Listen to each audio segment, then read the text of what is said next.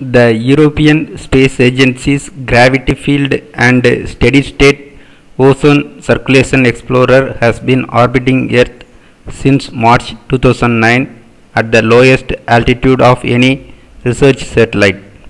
This satellite runs out of fuel and begins its descent towards Earth from a height of about 224 km.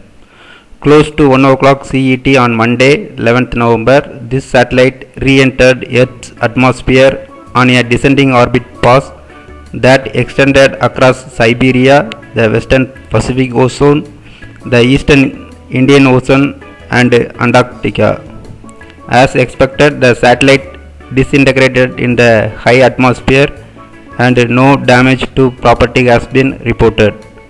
While most of the 1100 kg satellite disintegrated in the atmosphere, and estimated 25% reached Earth's surface.